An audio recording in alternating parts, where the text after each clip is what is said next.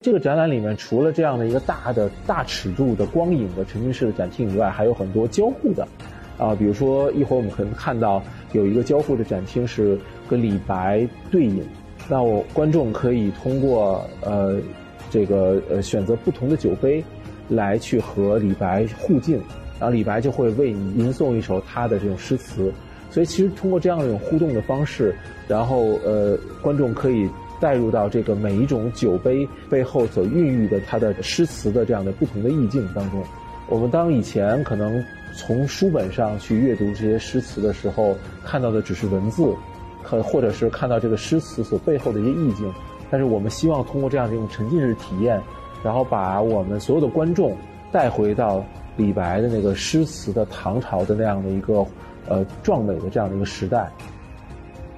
新媒体的技术，它是一种非常综合的一种结合了声光电、结合了叙事性的这样的一种手段，然后在呃观众可以阅读诗词的同时，将整体的氛围和环境然后营造出来，所以给观众更好的一种诗词的这种沉浸感啊。我们用了这种光影的装置艺术，比如对影成三人。这个装置，我们通过一个呃光影所投射出来的月亮，然后通过旋转的这种殿堂和山川，呃呃，再将李白置入其中，进行这样一种旋转的动态的表现，呃，展现了这李白跟朝堂和山野之间的这种不断转换的人生的际遇。